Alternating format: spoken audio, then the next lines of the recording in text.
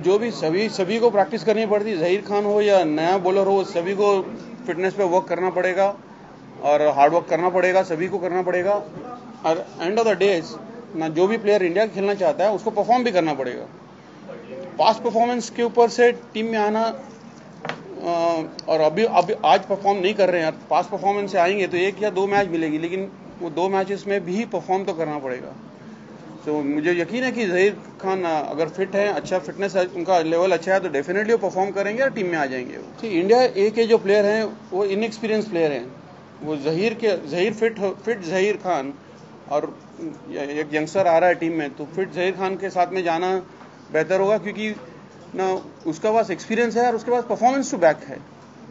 तो परफॉर्मेंस भी किया है उसने तो ये प्रूवन प्लेयर सो ना मैं जहीर के साथ जाऊँगा, क्योंकि अगर वो फिट है अच्छा कर रहा है अच्छे रिदम में? Yes Zaheer will be good choice at at the top and हम नेक्स्ट जो टूर है आई थिंक साउथ अफ्रीका जा रहे हैं. साउथ अफ्रीका में जहीर विल बी ना अच्छा अच्छा साबित होगा.